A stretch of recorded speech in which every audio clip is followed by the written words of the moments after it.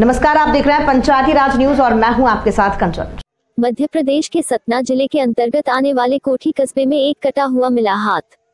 मिली जानकारी के मुताबिक कोठी थाना अंतर्गत आने वाले कोरियान मोहल्ला में सुबह जैसे ही लोग सोकर उठे।